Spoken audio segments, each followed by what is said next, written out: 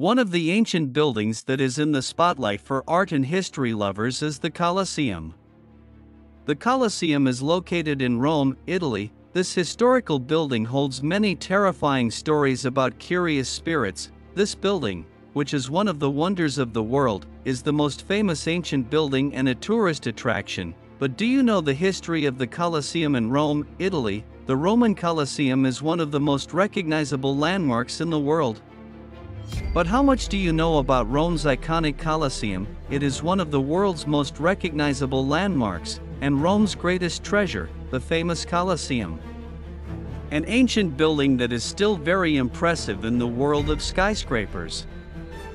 The Colosseum was the largest gladiatorial arena in Rome.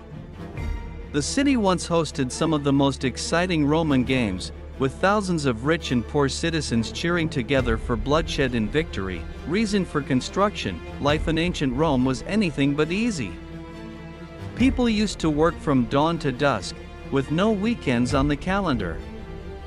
Those in charge realized that without an outlet for their frustrations, society would soon revolt against the system. This was especially important during the time when Emperor Titus Flavius Vespasian came to power in 69 AD. After the previous emperor, Nero, was assassinated, there was a year of civil unrest.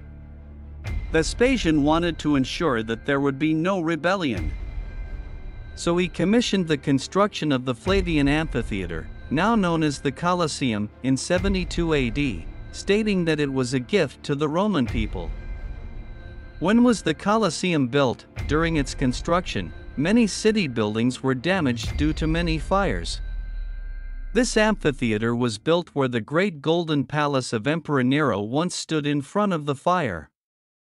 Its construction began in 72 AD and was completed until 79 AD, with many emperors in charge during its construction. It immediately became a favorite, with commoners and the rich alike flocking to its gates upon its opening. The name Flavian Amphitheater, later changed to the Colosseum, came from a huge statue of Nero nearby, called the Colossus of Nero. This statue was later torn down, but you can still see its base today, structure, and layout of the Colosseum. The Colosseum was created using a number of arches and stone walls. With hundreds of skilled masons and masons needed to complete the building. There are four different levels in the Colosseum, with each level covered by wood and sand floors. There were different sections for specific guests, including better seats for dignitaries and the emperor's box for Roman rulers.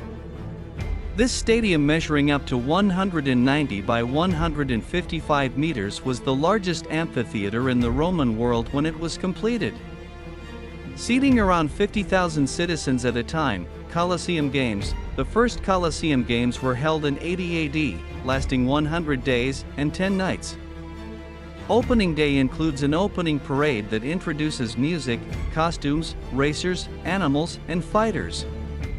Sacrifices are also included in the opening act, which honors their religious beliefs and brings good luck to the game.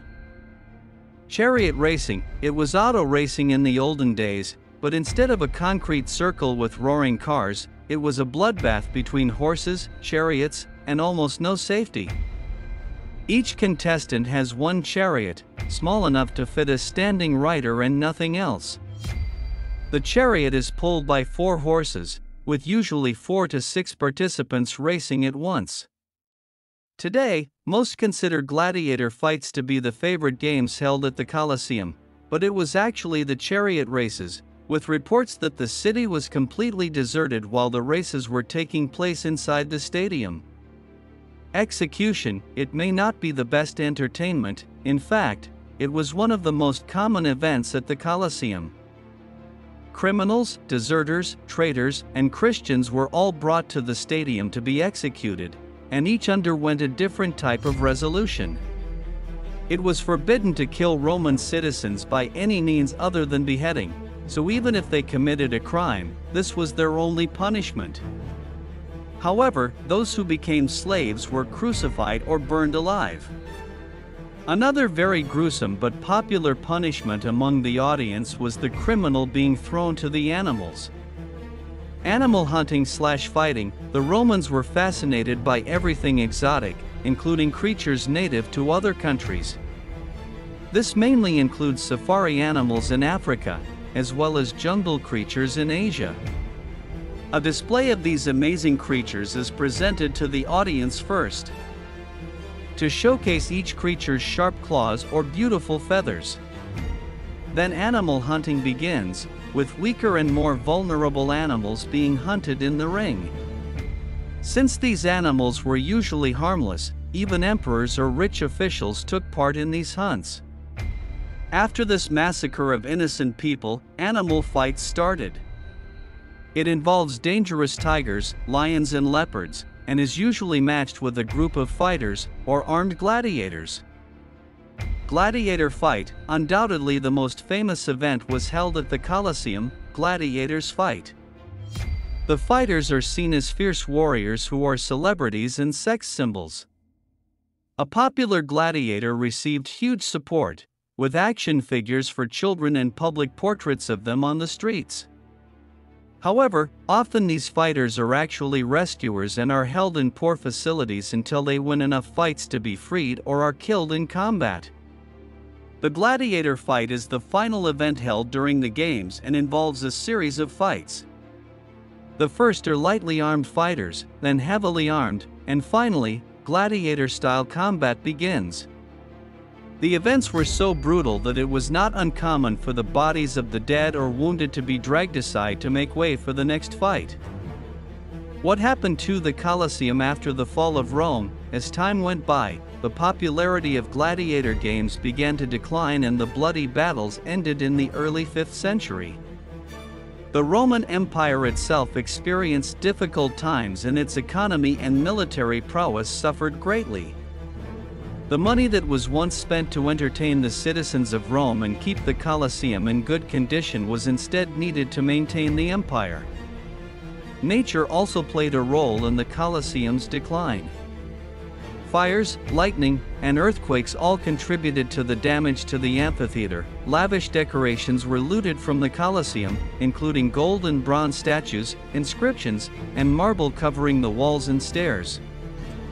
The absence of large piles of stones and rubble makes visitors ask, what happened to the outer walls of the Colosseum? The answer is simple travertine is recycled.